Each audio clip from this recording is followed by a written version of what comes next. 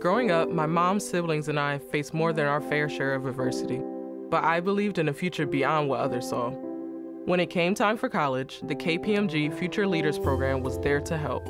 It was more than a scholarship. It was four years of support, mentorship, and training. Now, with a degree in animal science, I'm my family's first college graduate, and I'm just getting started.